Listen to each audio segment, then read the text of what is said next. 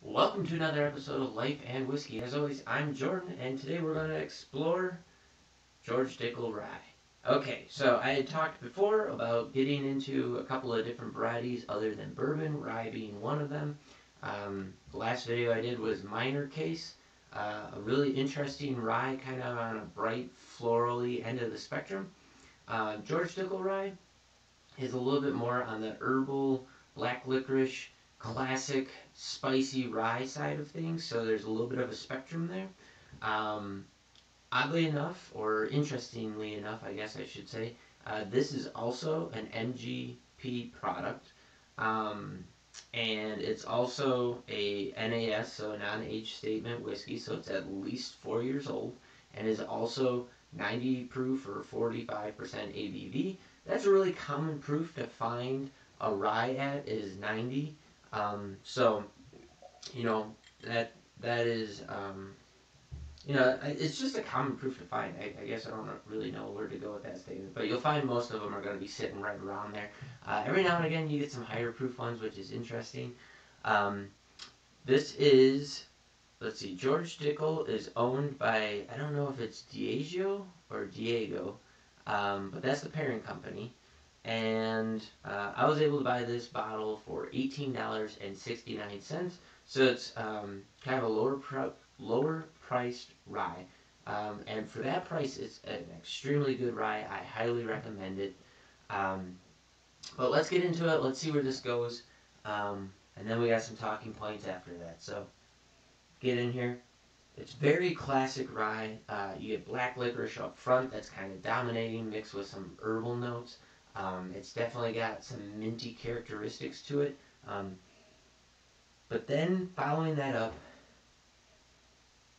after you get through those first kind of dominating notes, it kind of mellows out and turns into this floral buffalo, classic buffalo trace smell, that floral uh, apple, light flower. Uh, you can maybe pick out a little bit of eucalyptus, which is something that you're going to find in a, a fair number of rye whiskeys. Um, and again, that when I say Buffalo Trace, even though it's not a Buffalo Trace product, it just has that signature floral component that I find in almost all of their products. If you look at the Sazerac rye that Buffalo Trace puts out, that too has that very classic, non-mistakable Buffalo Trace smell to it. So um, that's definitely, definitely one that I get. If you go back to it, you almost get like a you know, uh, so I, I lived in Montana for a while and out in Washington for a while, and it was, you know, in 2014, 15, 16 when that the the microbrewery IPA craze was maybe at its height or you know gearing up for its height for its peak, and everywhere you went, every brewery you went to, the goal was to see who could get the most battery acid IPA that you could possibly get. You know what what brewery could get the most bittering units or IBUs into an IPA. This stuff was, in my opinion, absolutely rancid, not pleasurable to drink, super, super bitter. You know, some people really like that. I'm not a glutton for punishment, but um, where I'm going with that thought is this has that IPA bitter hop nose to it. Like if you wanted to sum it up, if you had a crisp IPA that was not overly citrusy, but leaning more towards this floral component, that's kind of what you're getting out of it. Luckily for us, it doesn't have a ton of that on on the taste. Um, it starts out that way.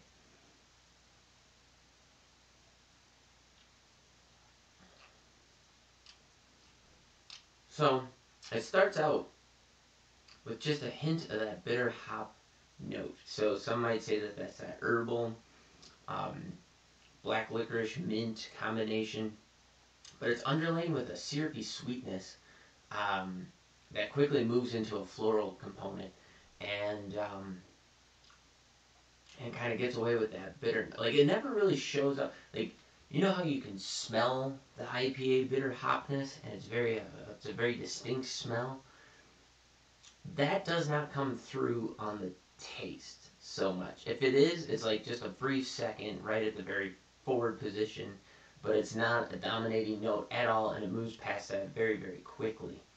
Um, but then it kind of moves into this floral sweetness that's underlaid um, some of the other stuff that's going on. So it's like this herbalness. Again, I always talk about chartreuse. So if you've ever had chartreuse as a liquor, it's very herbal but sweet at the same time.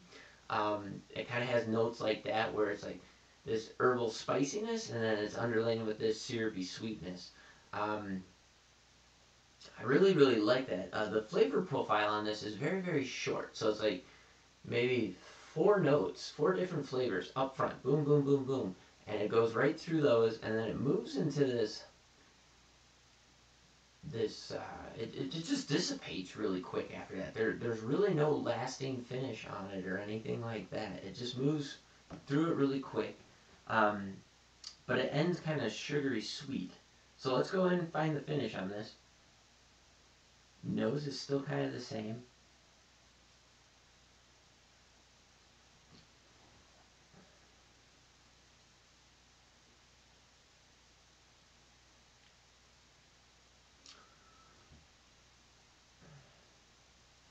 So I get, I mean, the finish on it's kind of herbal sweet as well. So it kind of carries through the, that floral herbal sweetness.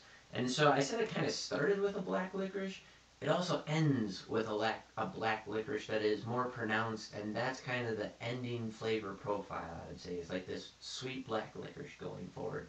Um, so I said that, it, you know, I find myself saying some of the sim- same tasty notes that I found in the minor case.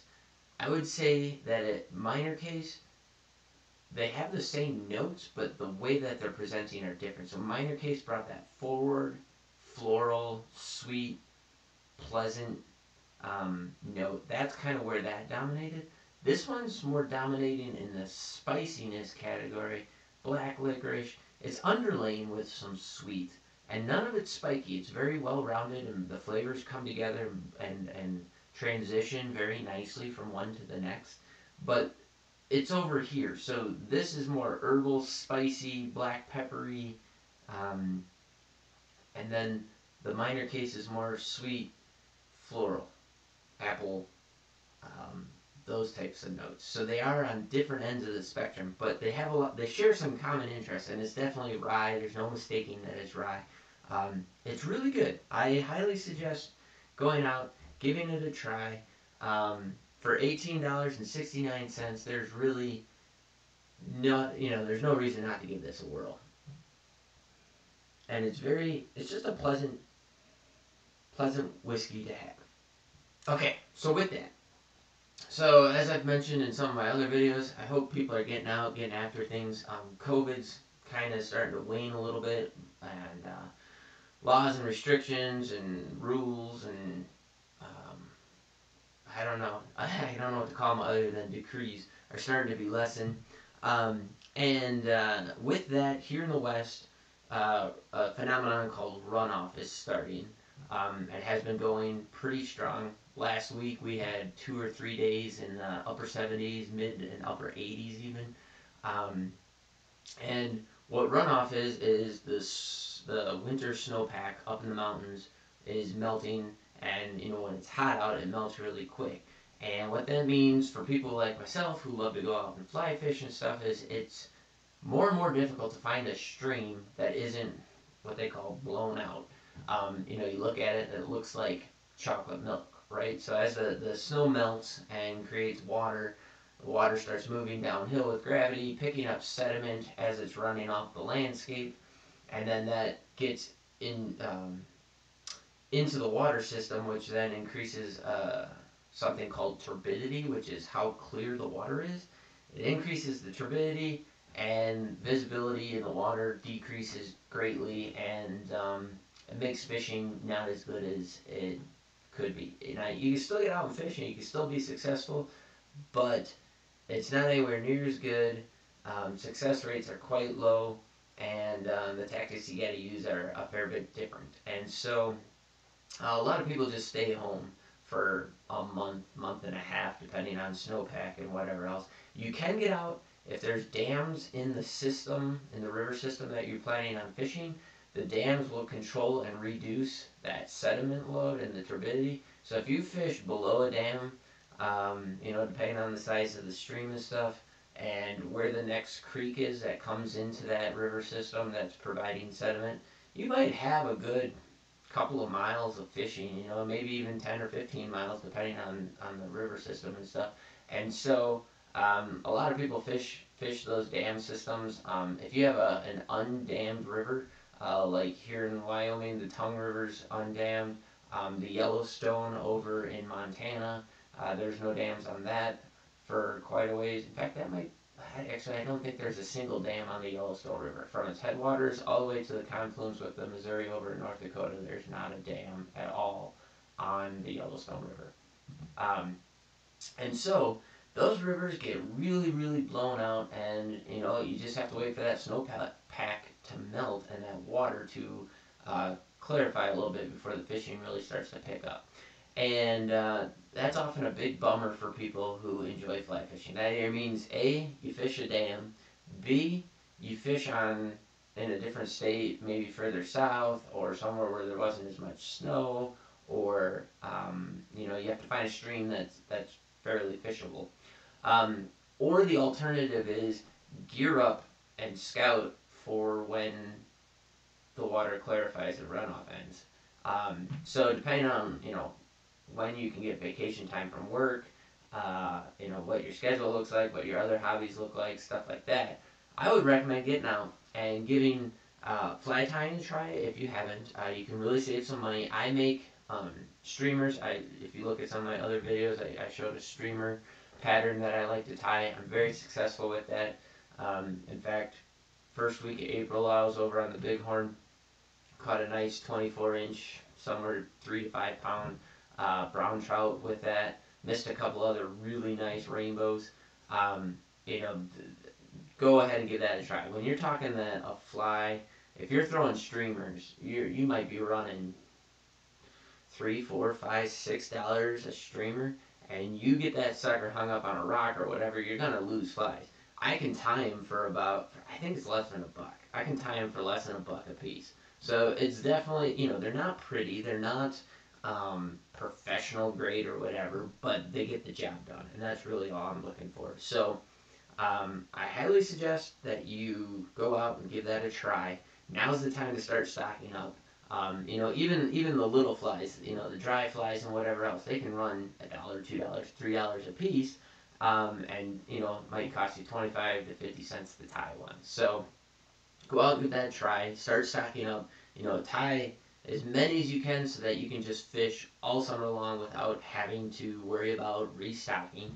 Um, you know, same thing is true for people who don't fly fish. You know, if you're uh, if you're a walleye fisherman, start tying your um, your your Lindy rigs and stuff like that. You know, with your beads and your spinners and your your worm harnesses and stuff like that. Just tie a couple hundred of those.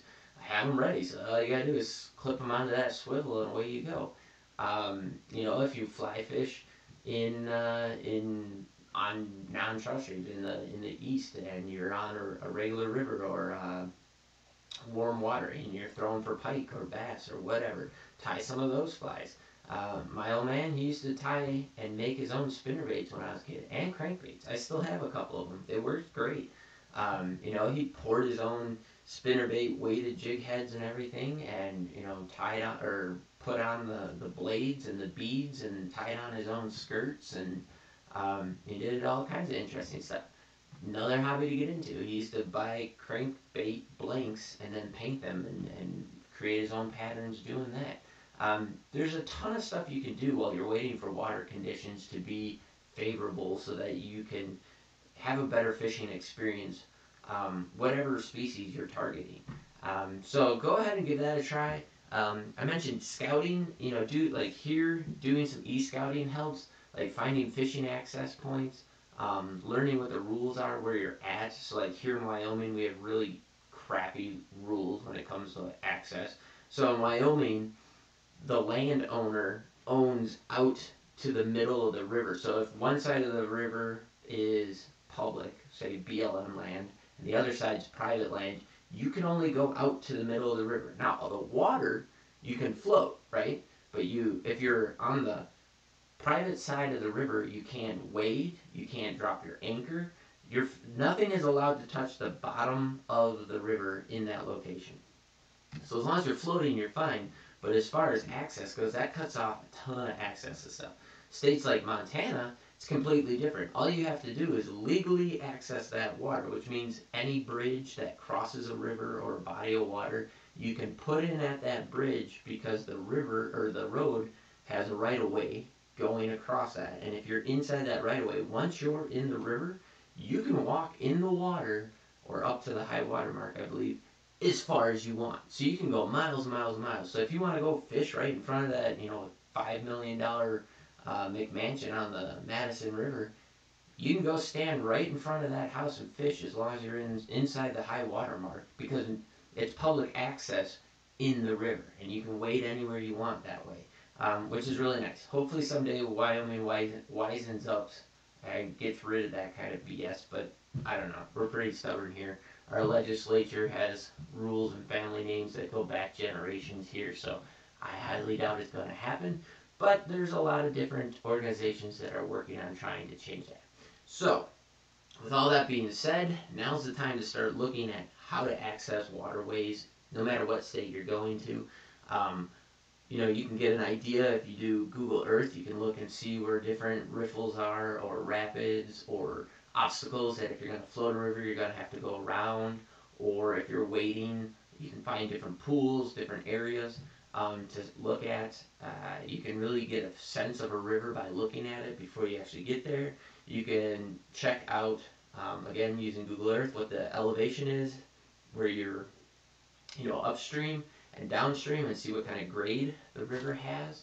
Um, you know, there's a lot of interesting things you can do with aerial imagery, Google Earth, that type of stuff to really do some scouting and find some unique fishing areas. You know, you can find out whether or not it's worth packing into a river or a lake or something that's up in the mountains, maybe three, four miles back, that doesn't see a lot of people. Um, those types of things are great opportunities to find while you have nothing else to do and you're waiting for the snow to melt. Um, and then I also mentioned warm water fishing. Uh, and, and right now in the spring, as waters warm up with the warm water fisheries, uh, you know, spawn's going to be starting for them. So most of the trout spawning has already occurred. But, um, you know, if you look at largemouth and panfish and um, some of those warm water species, they're, they're not going to start spawning until you know, the end of May, which it is the end of May, you know, Memorial Day weekend. But, um, you know, right about now till uh, maybe into June a little bit, uh, you find those places where the water temperatures are right, and you can hit the spawn really well on some of those fish species. So get out there, give all that stuff a try. Maybe pick up a bottle of George Dickel Rye and see if it, you know, suits your palate. I highly recommend it. As always, if you like this video, please like, subscribe, share this video. Comment below. Any comments are welcome, good, bad, or otherwise. Um, as I said, $18.69 for this bottle. Let me know what you can find it for in your area. I'd love to hear, um, you know, what kind of price ranges are out there. We'll, we'll keep this uh, little encyclopedia of price going. Um, I've been looking at the comments. Not too many people have made any comments. In fact, you know, my viewership's pretty low. If you are viewing, please make sure you're engaging with the video to help boost my numbers a little bit. Um, but I really would like to see those numbers in there because those numbers will help everybody. And maybe you're you know close enough to a place where you can find bottles cheaper somewhere else, and uh, you're not paying those premium prices. So, anyways, thanks for watching. I'll catch you guys on the next video. I appreciate everything you're doing. Please keep it up. Have yourselves a great day.